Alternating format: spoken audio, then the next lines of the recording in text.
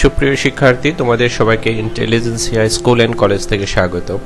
এখন আমরা দেখব যে অ্যাকচুয়ালি একটা ফাইল কীভাবে ওপেন করতে হয়, অন্তত হয়। তার মানে আমাদের কম্পিউটারে স্টার্ট বাটনে যাব।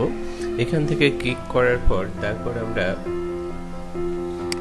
মাইক্রোসফট এটা হচ্ছে মাইক্রোসফট অফিস অর্থাৎ এখানে মাইক্রোসফট কোম্পানি কর্তৃক যত ধরনের প্রোগ্রামগুলো আছে, প্রত্যেকটা প্রোগ্রাম এখানে দেওয়া আছে, ঠিক আছে? তো এই জন্য আমরা, আমাদের এগুলো দরকার নাই পাওয়ার পয়েন্টের দরকার নাই পাবলিকেশন দরকার নেই মানে অনেক ধরনের তাদের আছে। আমাদের দরকার হচ্ছে লেখালেখি করার জন্য যে সফটওয়্যারটা, সেটা হচ্ছে মাইক্রোসফট ওয়ার্ড আমরা জানি যে যেই সফটওয়্যারগুলোতে লেখালেখি করা হয়, ওই সফটওয়্যারগুলোকে বলা হয় ওয়ার্ড প্রসেসর আর ওয়ার্ড প্রসেসরের অনেক ধরনের সফটওয়্যার আছে, তার মধ্যে প্রশিক্ষা আছে।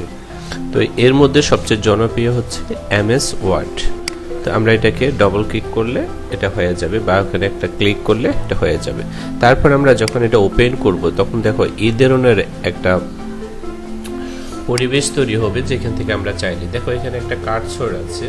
যে কার্ডসোরটা উঠানামা করে যে আমরা যদি কোনো কিছু লিখতে চাই, তাহলে সে এখানে কি করবে?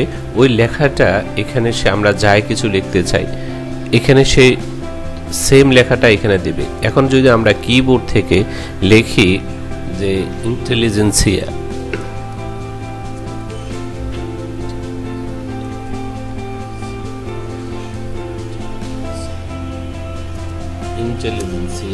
school school and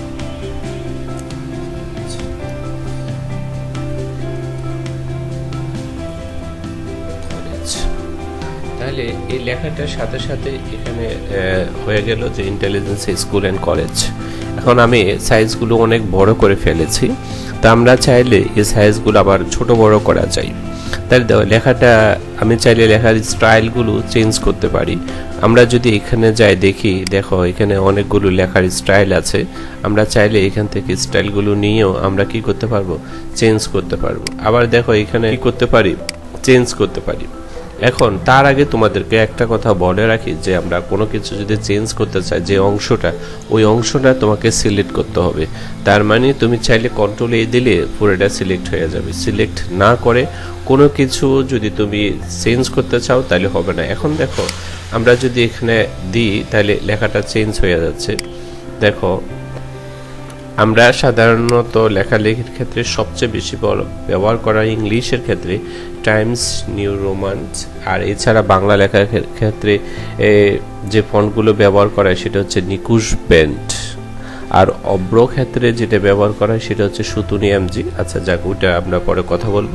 তাহলে আমরা এই লেখাটা, এখন লেখাটা বড় হয়ে গেছে। আমি চাইলে এটাকে একটা লাইনের মধ্যে লিখতে চাচ্ছি যে আমি লেখাটা, আমি কি করব? একটা লাইনের মধ্যে নিয়ে আসতে চাচ্ছি। তার মানে কি আমার লেখাটাকে একটু সাইজগুলো কি করতে হবে? ছোট করতে হবে। তার মানে আমার ফোন সাইজগুলো ছোট করার জন্য আমি এখানে ছত্রিশ আটত্রিশ বড় হচ্ছে, ছত্রিশ দিলাম।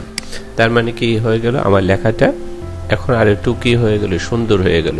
এখন এই যে লেখাটাকে সাজসজ্জা করা এটাকে বলা হয় ফরমেটিন এগুলো সম্বন্ধে তুমি জানতে পারবে, অর্থাৎ কোনো লেখাকে সাজসজ্জা করা।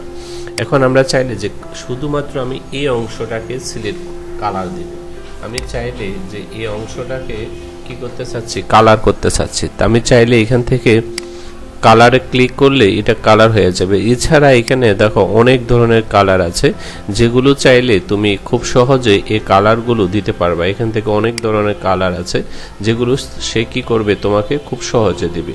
তো তুমি চাইলে এই ধরনের কালারও দিয়েও সুন্দর করে লিখতে পারো।